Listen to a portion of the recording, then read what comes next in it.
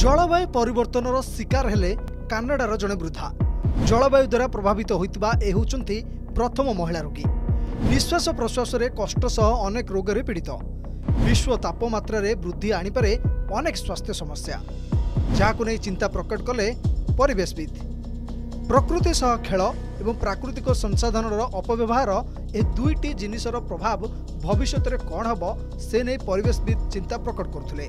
ହେଲେ ଏବେ ଏହାର ପ୍ରଭାବ ମଣିଷ ଉପରେ ମଧ୍ୟ ପଡ଼ୁଥିବା ଦେଖିବାକୁ ମିଳିଲାଣି।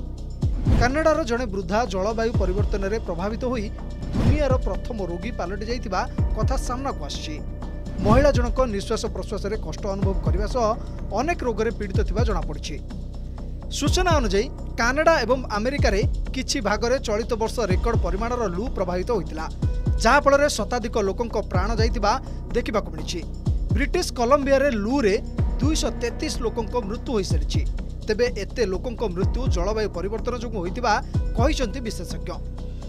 ଜଳବାୟୁ ପରିବର୍ତ୍ତନ ନେଇ କିଛି ମାସ ପୂର୍ବରୁ ଆସିଥିବା intergovernmental panel on climate change ବା ଆଇପିସିସିର ରିପୋର୍ଟ ଅନୁଯାୟୀ ଉଣେଇଶହ ସତୁରିରୁ ଏବେ ଯାଏଁ ବିଶ୍ୱସ୍ତରରେ ଯେତିକି ତାପମାତ୍ରା ବୃଦ୍ଧି ପାଇଛି ତାହା ଗତ ଦୁଇ ହଜାର ମସିହାରେ ବିଗତ ପଚାଶ ବର୍ଷ ତୁଳନାରେ ଅଧିକ ରହିଛି। ବିଶ୍ୱ ତାପମାତ୍ରାରେ ଏଭଳି ବୃଦ୍ଧି ସାରା ଦୁନିଆର ଋତୁ ଏବଂ ଜଳବାୟୁ ସମ୍ବନ୍ଧୀୟ ଅନେକ ପରିବର୍ତ୍ତନ ଆଣିଛି। ରିପୋର୍ଟରେ ଏହା ମଧ୍ୟ କୁହାଯାଇଛି ଯେ ଏହି ଜଳବାୟୁ ପରିବର୍ତ୍ତନ କେବଳ ଜୀବନ ବା ଜୀବିକାକୁ ପ୍ରଭାବିତ କରିବନି ବରଂ ଅନେକ ସ୍ୱାସ୍ଥ୍ୟ ସମସ୍ୟା ମଧ୍ୟ ସୃଷ୍ଟି କରିବ। Bureau report Argus news.